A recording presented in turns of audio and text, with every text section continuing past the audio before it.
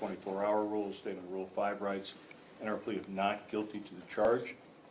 Understanding that the state is asking that Ms. Herring be held without bail, uh, we have no objection to that uh, request uh, pending uh, reservation of rights to challenge it after a weight of the evidence hearing.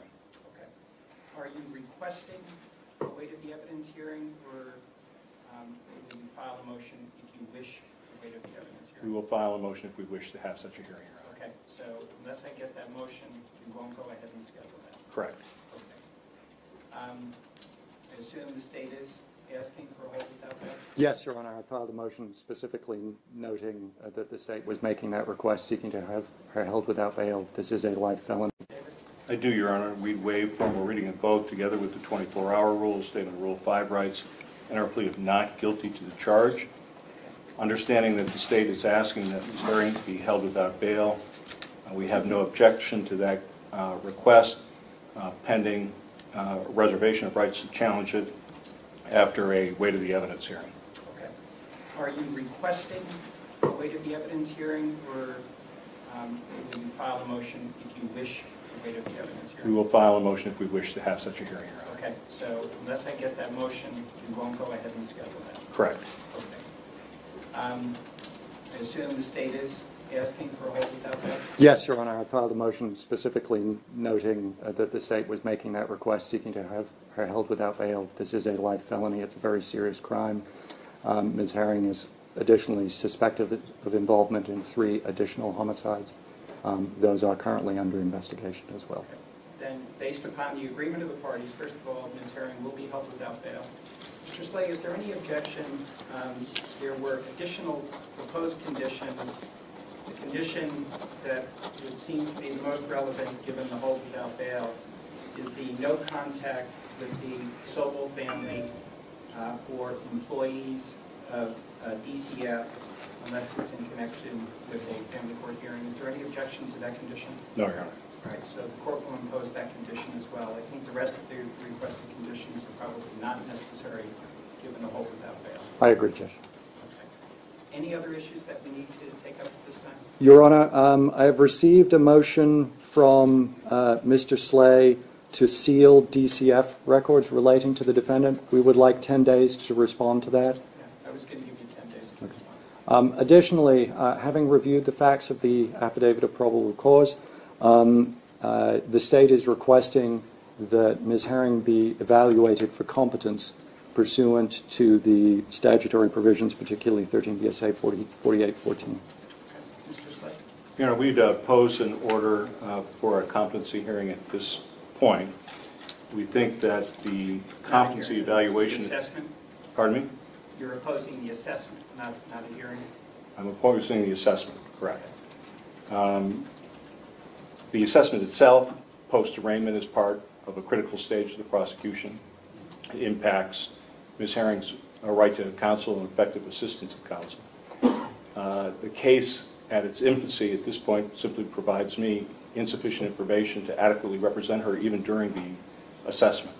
Uh, So we would at least ask for a stay until such time as the state makes its Rule 16 production, um, which I would assume would be within the next 14 days, and then allow uh, myself, on behalf of Ms. Herring, to either file uh, a motion in continued opposition or notice the state that we no longer have an opposition. Okay. So, um, under the statute, if you raise the competency issue, the court does have the discretion to at least order a competency assessment at this time. Yes. Do you want to address it any further, so I have a basis to order it, or do you want to reserve on that? Um, Obviously, the issue can be raised at any time as well. Uh, Your Honor, I think at this point, we're going to rely on the information that's in the record already. Um, If we develop additional information that specifically addresses competence, we will certainly bring that to the court's attention. Okay. Then, let me just say, um, you know, I've- I've certainly reviewed the affidavit of probable cause at this point, um, but I suspect there is a lot more information that's out there at this time, so I will hold off ordering any competency assessment at this point until the issue is formally raised by motion uh, with the defense having an opportunity to respond to it. Thank you, Judge. Thank you, Your Honor. So if I can just weigh in on one other issue. um, uh, The discovery in this case, I suspect, will be voluminous and ongoing. Um, And uh, I guess I'm just urging the state to do whatever they can to expedite the law enforcement portion of the case and the lab portion of the case to get the information to your office as soon as possible in duplicate forms, so that copies of the books, which I think you're going to receive, can immediately be turned over to the defense, so that the one thing we don't have to deal with in the case are discovery delays uh. Judge, uh, we're certainly going to proceed as quickly as we can with discovery. Um, There is the matter that there are related, potentially ongoing investigations still. We um, certainly are not going to do anything that would negatively impact those investigations, but we will certainly comply with our obligations to provide discovery in a timely manner. I understand. Okay. And finally, with respect, to Mr. Slater, your motion um, with regard to the records, I am going to give the state 10 days to respond to that and then uh, make a determination about whether it's something I can simply rule on on my own or whether we need to have a hearing on it. I- Let In me the, simply remind everyone that there are certain family court proceedings that are confidential by statute, and certainly the expectation is everyone will follow the confidentiality statutes. Everyone has an ethical obligation to do that. And um, we'll get the state's response and we'll decide where we go thank you, Your Honor. I have one other request that I would make uh, orally and if necessary, follow up in writing.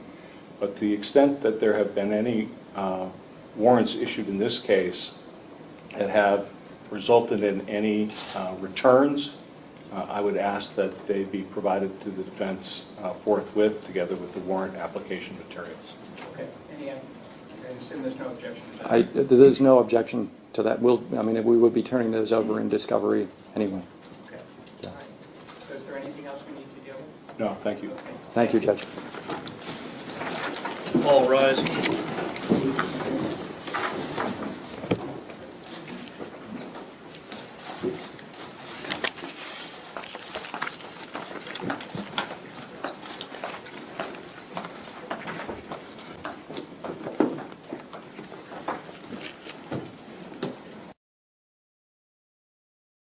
with the 24-hour rule, statement of Rule 5 rights, and our plea of not guilty to the charge.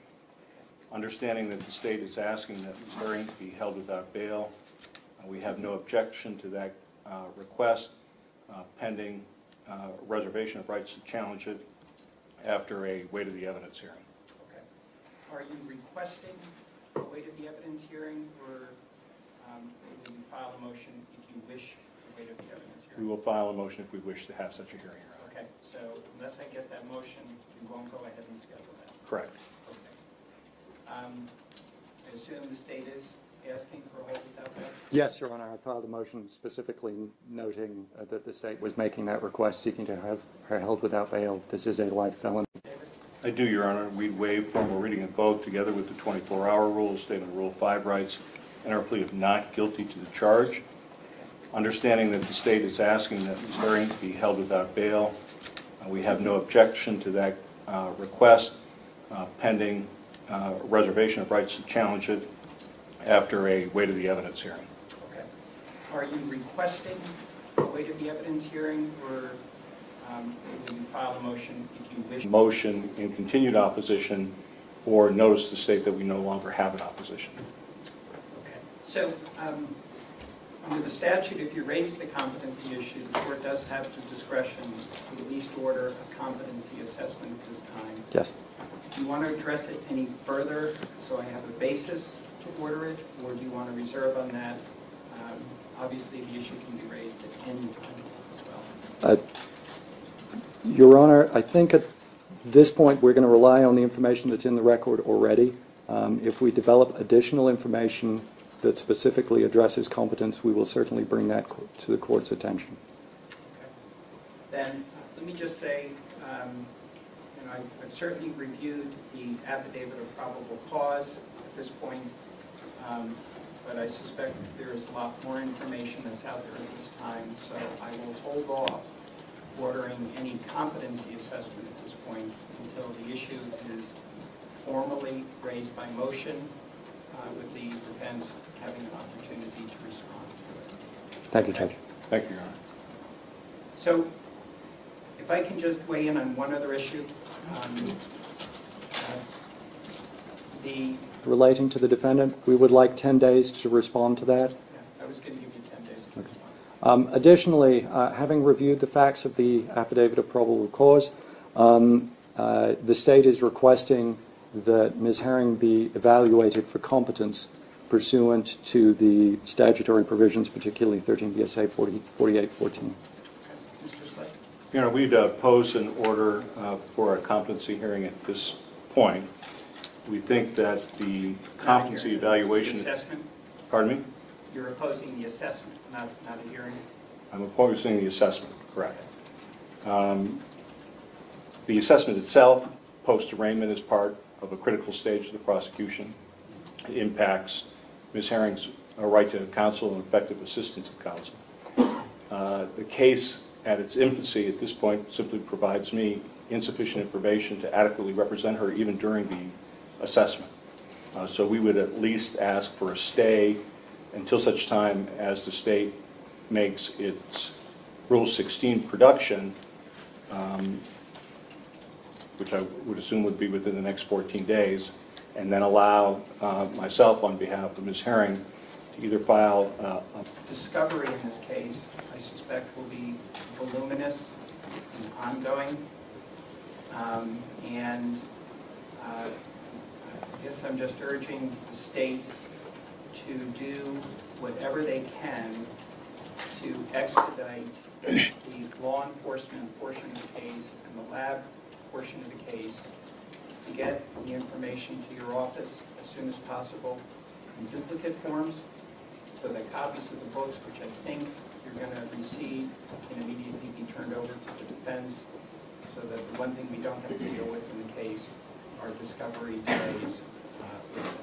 Judge, uh, we're certainly going to proceed as quickly as we can with discovery. Um, There is the matter that there are related, potentially ongoing investigations still. We um, certainly are not going to do anything that would uh, negatively impact those investigations, but we will certainly comply with our obligations to provide discovery in a timely manner. I understand. Okay. And finally, with respect, Mr. Slade, to your motion um, with regard to the records, I am going to give the state 10 days to respond to that and then uh, make a determination about whether it's something I can simply rule on on my own or whether we need to wait of the evidence We here. will file a motion if we wish to have such a hearing, Your Honor. Okay, so unless I get that motion, we won't go ahead and schedule that. Correct. Okay. Um, I assume the state is asking for a hold without bail? Yes, Your Honor, I filed a motion specifically noting uh, that the state was making that request, seeking to have her held without bail. This is a life felony, it's a very serious crime. Um, Ms. Herring is additionally suspected of involvement in three additional homicides. Um, Those are currently under investigation as well. Okay. Then, based upon the agreement of the parties, first of all, Ms. Herring will be held without bail. Mr. Sleigh, is there any objection? um, There were additional proposed conditions. The condition that would seem to be the most relevant, given the hold without bail, is the no contact with the Sobel family uh, for employees of uh, DCF unless it's in connection with a family court hearing. Is there any objection to that condition? No, Your Honor. All right, so the court will impose that condition as well. I think the rest of the requested conditions are probably not necessary, given the hold without bail. I agree, Judge. Any other issues that we need to take up at this time? Your Honor, um, I have received a motion from uh, Mr. Sleigh to seal DCF records